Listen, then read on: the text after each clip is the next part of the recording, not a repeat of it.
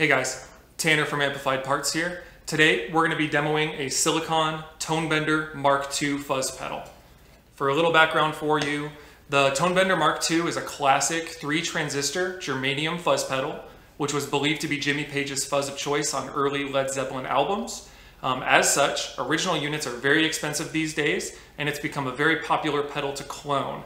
The problem with that is that the original germanium transistors are also extremely hard to source and very expensive.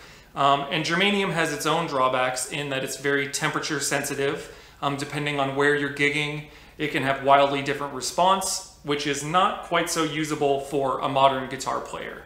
This pedal, which I have right here, which we're going to be demoing, is a redesign which allows you to use common silicon transistors with only a few changes to the original circuit. This pedal can be built on a strip board with the same layout as the original germanium version, and as such, the temperature sensitivity is stabilized for reliable and consistent sound.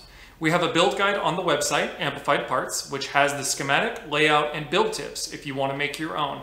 A link can be found down in the description below. Um, on a personal note, I think this pedal is extremely usable and for a wide variety of modern guitar players, I just think it's an excellent pedal. And if you've never had a chance to try out a Tonebender Mark II, I think you're really missing out because it's really usable for anything from classic rock to modern shoegaze to wall of sound type vibes. Um, it's really a wide spectrum of sounds that you can get out of this thing as well as the volume on your guitar. So I'm gonna attempt to go through all of that today to kind of show you what it can do. And I hope you enjoy the plan. Let's hear how it sounds.